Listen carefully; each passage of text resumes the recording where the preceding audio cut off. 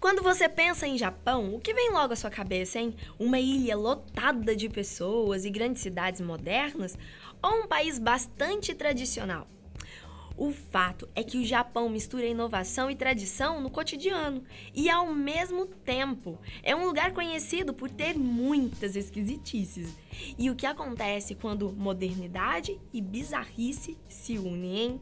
Eu sou a Thalita Flores e seja bem-vindo ao canal Fatos Desconhecidos. Se ainda não é inscrito, se inscreva, tá? Curta o vídeo e assine as notificações para não perder nada. Todos os dias temos vídeos novos por aqui. Veja agora nove coisas estranhas vendidas em máquinas automáticas do Japão.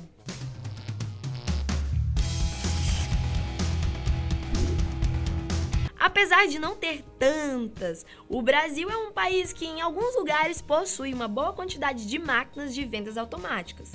Quem nunca usou uma dessas máquinas para pegar um refrigerante ou então um salgado? Mas saiba que o Japão elevou essa prática a um outro patamar. Em nenhum outro lugar no mundo há tantas máquinas automáticas por habitantes como no Japão. Número 9. Ovo. Os japoneses são pessoas práticas, que não gostam de perder tempo. Portanto, eles arrumaram um jeito de vender ovos em máquinas automáticas. Mesmo o ovo sendo um alimento que requer cuidado em seu armazenamento, já que pode quebrar ou se perder, né? Comprar ovo dessas máquinas é quase que como estar comprando diretamente da galinha. Número 8, banana. Muita gente adora comer frutas frescas. Os japoneses também fazem parte dessas pessoas. E para facilitar a vida, eles vendem essas frutas em máquinas automáticas. O que mais espanta é que até bananas podem ser compradas. E vale lembrar que a banana é uma fruta que possui um prazo de validade muito curto. E mesmo assim, você não irá encontrar um lugar que esteja vendendo uma banana podre ou verde ela sempre estará prontinha para ser comida. Número 7. Flores. E se você acha que é difícil manter ovos ou bananas bem conservados em uma máquina automática, imagine flores, hein? Os japoneses que por um acaso estiverem desesperados e não tiverem como ir a uma floricultura para presentear a pessoa amada, podem recorrer a essas máquinas. Elas mantêm as plantas em temperaturas ideais e também as regam constantemente. Por lá não tem essa desculpa de não teve como comprar o seu presente. A loja estava fechada. Número 6, guarda-chuva. Quem nunca saiu de casa com um sol escaldante nas costas e um céu azul e maravilhoso e na volta tomou um banho de chuva colossal, hein? No Japão, em algumas regiões, isso é ainda mais comum. Por causa disso, existe uma máquina automática que vende guarda-chuvas para você. É, é só você colocar o dinheiro ou passar o cartão de crédito e escolher entre vários modelos e cores. Além disso, existem várias versões econômicas para quem quer um guarda-chuva só para aquele momento, e as versões mais caras, com produtos mais bem acabados e duradouros. Número 5. Lagostas vivas. Acredite ou não, é possível comprar lagostas vivas em máquinas de vendas. Você consegue ver no aquário o animal e depois, com auxílio de uma grua, tentar pescá-lo.